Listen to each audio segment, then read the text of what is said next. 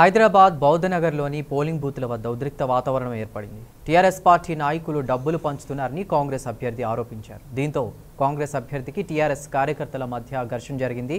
స్థానిక ఎస్ఏ రాజశేఖర్ గౌడ్తో కూడా కాంగ్రెస్ నాయకులు వాగ్వివాదానికి దిగారు.